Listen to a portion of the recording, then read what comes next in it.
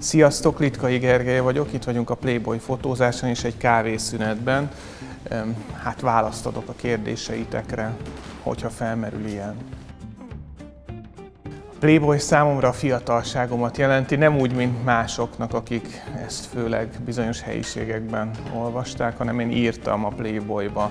Nagyon sokáig volt egy rovatom Playboy Retro címén, amin különböző éveket vettem végig itt a magazinban, és eh, csodálatos volt, mert szerzőként ott szerepelhetett a képem a Playboyban, amivel hát lehetett volna csajoznom, ha nem lennék házas már lassan 20 éve.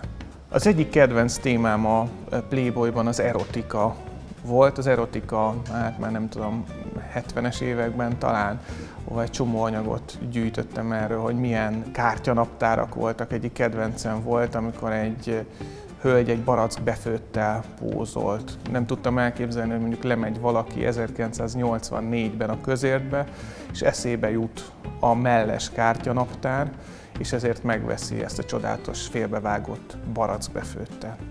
Amikor elindult a Playboy Magyarországon, nekem volt egy amerikai nagynéném, és ott azért már mondták, hogy van Playboy, meg létezik ilyen, és csodálatos volt így a rendszerváltás után, amikor hozzánk is beszivárogtak ezek a dolgok, a Coca-Cola, a McDonald's, a Playboy, és akkor láttam egy újságos standon Playboy, szerintem még, akkor nem tudom, még nem volt szerintem zacskózva, csak simán, és olyan hihetetlen volt, hogy most már itt is Amerika van, legalábbis hát limitáltan. Szerintem jelenleg a legjobb színdarab az Abigail bulia, de más sajnos nem lehet látni a kamrában.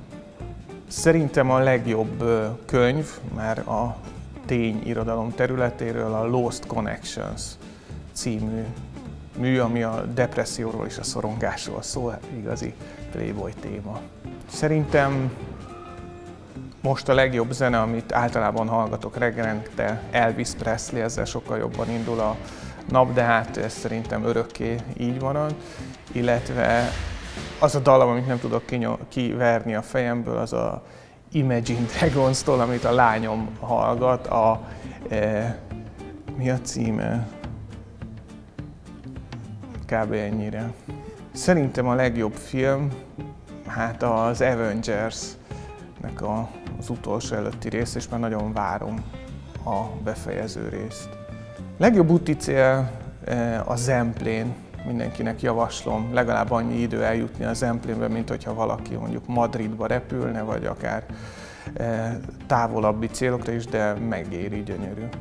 Legjobb ital a víz, egészséges, egyelőre még szinte korlátlanul rendelkezésre áll és olcsó.